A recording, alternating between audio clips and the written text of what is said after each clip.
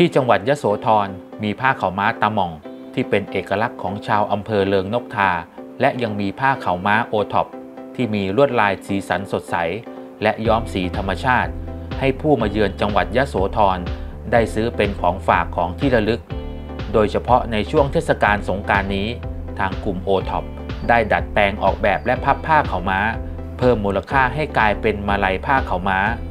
มาลัยกร พวงกุญแจ กระเป๋า เพื่อนำไปไหว้ขอพรผู้ใหญ่ และผู้ที่ท่านเคารพในช่วงเทศกาลสงการเป็นการส่งความสุขด้วยผ้าเขาม้า ฝีมือของชาวบ้านที่ทอขึ้นมาจากภูมิปัญญาท้องถิ่น ถ่ายทอดองค์ความรู้การทำผ้าเขาม้า ที่เป็นอัตลักษณ์ท้องถิ่นจากรุ่นสู่รุ่น นางสาวจันฉายสามสีอายุ 50 ปี ประธานกลุ่มโอท็อปจำหน่ายสินค้าวิมานพญาแถน แหล่งท่องเที่ยวของจังหวัดยะโสธรบอกว่าผ้าขาวม้าที่ทางกลุ่มผลิตในตอนนี้กำลังได้รับความนิยมอย่างมาก นิยมซื้อไปเป็นของฝากของไหว้ในช่วงเทศกาลสงกรารนี้ โดยมีบริการส่งสินค้าทางออนไลน์ ทั้งผ้าขาวม้าลายตะหม่อง ผ้าขาวม้าลายอื่นๆ มาลายกร พวงกุญแจ กระเป๋าที่มีสีสันสดใส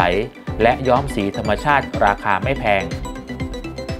เทศกาลสงการนี้จึงเป็นปีแรกที่ทางกลุ่มได้ออกแบบการพับ ให้ออกมาเป็นมาลัยกรแทนดอกไม้สด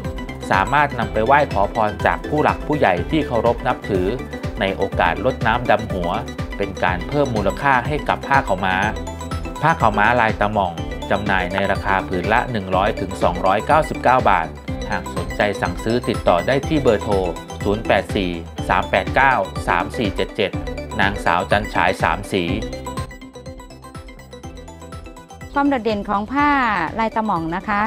ก็คือลายจะชัดเจนนะคะ สวยงามก็คือจะมีลายที่แบบว่าสีกรมกับสีขาวตัดกันนะคะมาลัยกรพวงกุญแจนะคะ เป็นกระเป๋าค่ะ แล้วก็จะเป็นเสื้อผ้านะคะช่วงนี้นะคะก็จะเป็นงานรับออเดอร์ค่ะ เพราะว่า ใกล้จะเทศกาลสงการแล้วค่ะ ก็จะเป็นงานรับไหว้นะคะ หรือว่าไหว้ผู้หลักผู้ใหญ่นะคะ ช่วงรดน้ำดำหัวผู้ใหญ่นะคะ ตอนช่วงเทศกาลสงการค่ะ ก็จะมีทั้งทำเป็นพวงมาลัยแล้วก็เอ่อเป็นกล่องหรือว่าเป็นผืนอย่างเงี้ยค่ะ แล้วแต่ลูกค้าสั่งค่ะ ช่วงนี้ก็มียอดสั่งเยอะค่ะ ผลิตภัณฑ์เราราคาไม่สูงค่ะ เริ่มต้นที่ 100 บาทเองค่ะ ช่องทางการติดต่อเพจจันฉายผ้าไทยยะโสธรนะคะ หรือว่าเบอร์โทรก็